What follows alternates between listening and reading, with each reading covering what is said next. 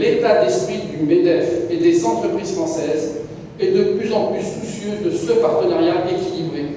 On ne vient plus ici pour faire des coups, comme on dit.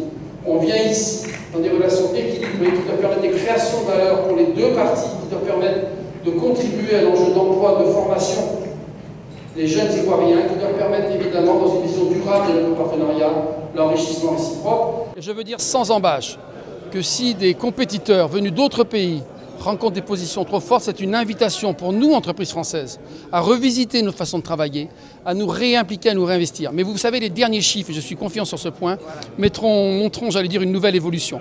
Mais c'est la compétition. C'est simplement le fait que la Côte d'Ivoire, et c'est une bonne nouvelle pour le pays, attire de plus en plus les entreprises internationales. Ce à quoi il faut veiller, je le dis à tous, qu'elles soient françaises, marocaines ou chinoises, c'est quel est l'équilibre et quel est le retour pour la population de Côte d'Ivoire de cette présence. C'est ça aussi la question qu'il faut poser. La problématique est simple et connue de tous. La Côte d'Ivoire est une destination prisée au jour d'aujourd'hui. Donc il est évident que différents investisseurs de différentes origines investissent en Côte d'Ivoire. On n'est donc pas figé sur les anciens partenariats. Mais en même temps, le modèle de partenariat que nous avions avec la France, qui est, je dirais, presque légendaire, doit évoluer et nous avons réfléchi ensemble à l'évolution, à l'impulsion qu'on doit donner pour que cela soit profitable aussi bien pour nos entreprises que pour les populations ivoiriennes. C'est ça l'objet de notre rencontre aujourd'hui. Comme il disait tantôt, avant, quand il y avait des projets, il faisait, comme on dit dans notre jargon, il venait faire un coup et il partait. Au jour d'aujourd'hui, ils sont installés et établis.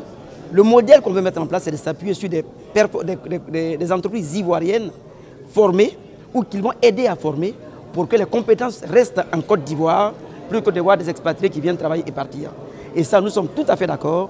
Nous réfléchissons à la façon de le faire et avec l'accord et l'aide du gouvernement, on mettra des modèles en place qui vont être aussi, bien positifs pour les Ivoiriens que pour nos entreprises. Des rencontres comme celle-ci permettent de voir ce qui se passe ailleurs et de, de co-construire. Donc de profiter de cette expérience en termes de, comme je dis, transfert de technologie.